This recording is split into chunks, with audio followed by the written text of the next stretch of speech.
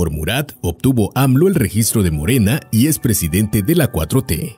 Contra la equivocada opinión, a nuestro juicio, de todavía un amplio sector de oaxaqueños, entre ellos incluso observadores y analistas, Alejandro Murat va por la candidatura presidencial del PRI. Los astros se alinean a favor del gobernador oaxaqueño al sumarse diversos factores, algunos que ha sabido construir y otros que, a querer o no, terminan fortaleciendo sus posibilidades políticas. Asumir la presidencia de la Conferencia Nacional de Gobernadores, en sustitución del gobernador de Hidalgo Omar Fayad Meneses, es un gran paso hacia la candidatura presidencial. Lo es más irónico es el espaldarazo de su hermano Alito, algunos le llaman Amlito, con la iniciativa del PRI para ampliar hasta 2028 el despliegue de las Fuerzas Armadas en las calles.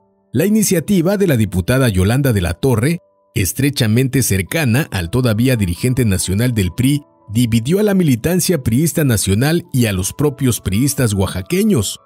Todo indica que el gobierno negoció con Alito, líder del PRI, para cambiar el juicio de desafuero como diputado y tal vez la cárcel, y que el tricolor apoye la militarización de la seguridad nacional.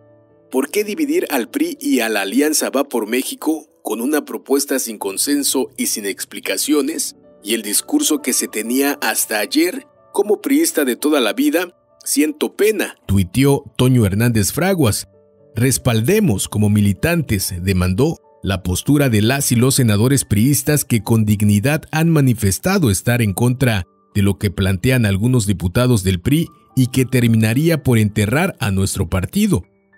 Poco se sabe y menos se recuerda por la clase política nacional que aquel mayor activo de Alejandro Murat es el enorme servicio que prestó su padre Pepe Murat a Andrés Manuel López Obrador, en el programa Sin Censura por Regeneración Pluralidad recordé que gracias a Pepe Murat, Andrés Manuel López Obrador logró el registro de Morena y hoy es presidente de la República de la 4T. Como era de esperarse, lógico y natural, a Raúl Castellanos, a Janet Martínez, a Adrián Ortiz y Joel Santiago sorprendió y resultó difícil de creer mi comentario al recuperar la memoria histórica. Al hacer, una vez más, de abogado del diablo, en el programa expusimos argumentos lógicos que validan nuestras conclusiones por qué Alejandro Murat será candidato presidencial del Primor.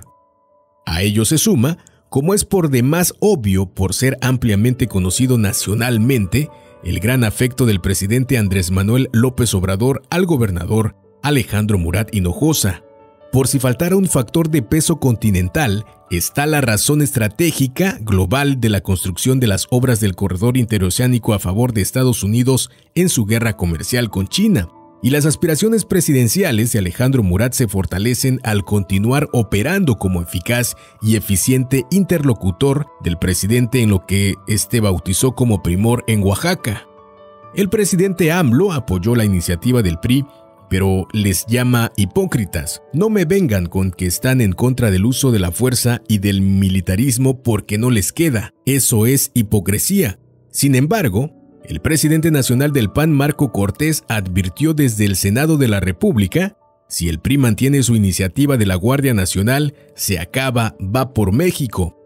La coalición Va por México no continuará si el PRI insiste en mantener su iniciativa en la Cámara de Diputados para ampliar a nueve años la participación de militares en la Guardia Nacional. Rubén Moreira, coordinador del PRI en la Cámara de Diputados, aseguró que la coalición legislativa Va por México continúa firme, pero hizo votos para que ésta no se rompa.